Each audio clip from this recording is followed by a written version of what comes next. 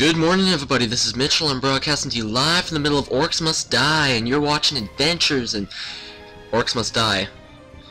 Um, yeah, that's pretty much what the game is. So basically what we're doing is I actually already started the game and I started on War Mage uh, difficulty which is like the normal difficulty. Uh, the other difficulty is what I'll play it on which is Apprentice and uh, a quick note guys I'm really sorry my audio is really screwed up right now my mic is I think I changed some of my mic settings around by accident so sorry about that guys. But uh, anyway so this is what we're gonna do I'm going to select the uh, level on Apprentice and um, now, I have items unlocked, but I want to play true to the game, and I want to make it the same difficulty that I had it at the start. Well, other than the fact that I'm on Apprentice. So I will actually be using uh, the traps that I can only use on that level. Um, that are only originally unlocked down that level. So uh, I've spent here, here's the cutscene. years fighting for the Order. I've killed thousands of orcs, and defended dozens of rifts.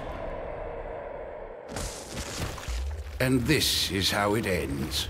One slip and a kobold's blood, and my skull cracks open on the gatehouse steps. So now the task of defending this fortress falls to my... apprentice. That's it, then. The world is doomed. I think that was a bit harsh, considering that I'm just one guy. But, um, okay, yeah, so I'm to select things that I'm only able to use in the beginning. So what I can use is the, uh, spike trap in the bubble, or the mud pit, I believe.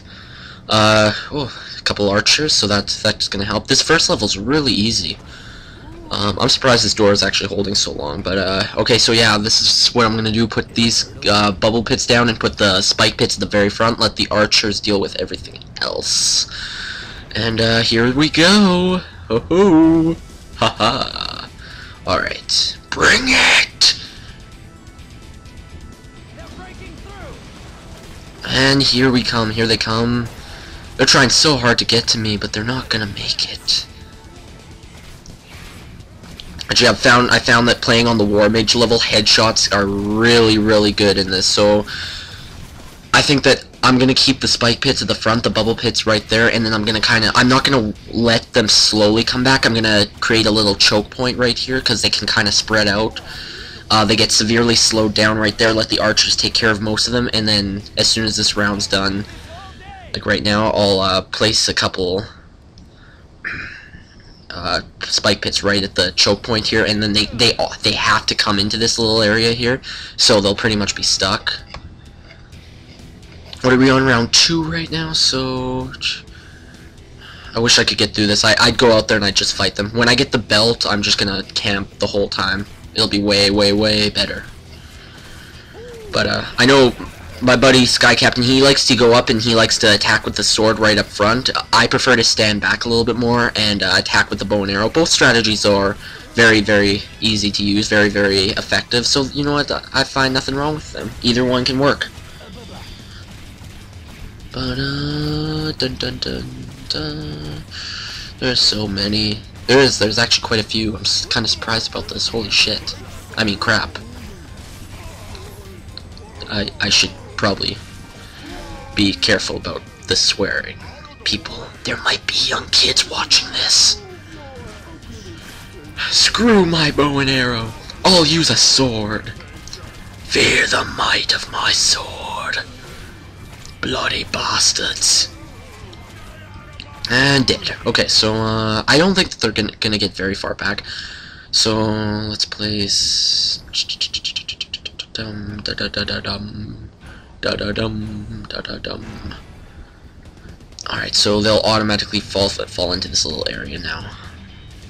No matter what they do, they'll they'll this will pretty much weed out the majority of them. Hopefully, I I hope so.